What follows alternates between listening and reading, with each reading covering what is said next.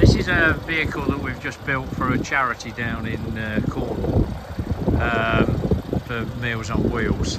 Uh, also, their specification they needed chilled area, but also they needed a freezer as well. So, uh, I'll show you what we've done here. So this obviously used to be just a chiller van. Uh, so we've got the cool section here, but also a set up in the back here, which goes down to minus 18.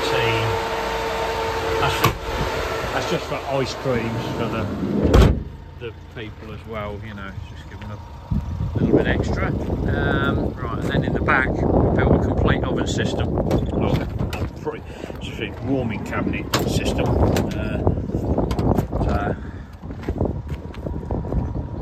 that's it there, and then just show you. And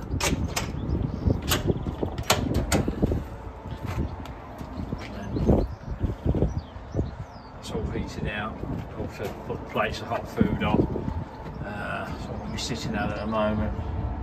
About 80 degrees there, which is about right.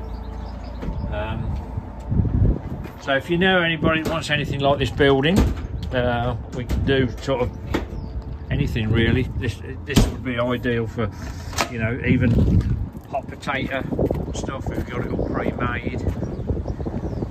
Doing events or anything like that. It's totally self-contained.